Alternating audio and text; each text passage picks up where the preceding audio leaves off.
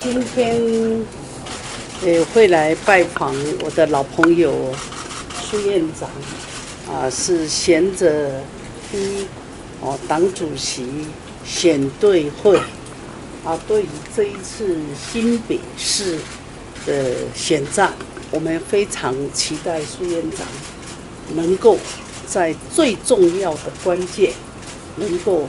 出来跟我们一起努力并肩作战。我们认为需要一个最强的人，在最重要的关键扮演承担民进党在新北市新北市这一场的选战，在新北市民大家一起努力，让苏院长在民进党执政之下，能够带领新北市超越再超越。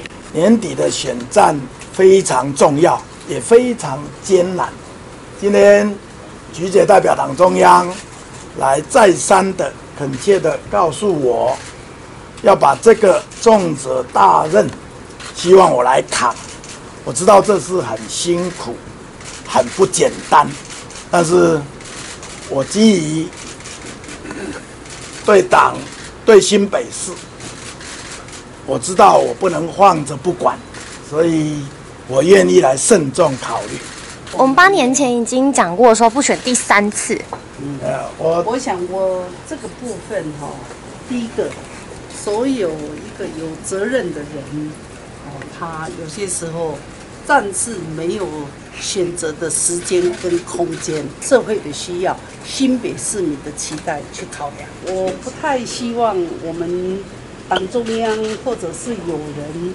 哦，这种散布这种失败主义，那我会觉得说，我们了解艰困，但是我们是应该要非常有信心。如果只是思考个别的派系，那我觉得这样的话是不能够担任重大的责任。所以我会觉得没有人会去考虑派系，那是最小的问题。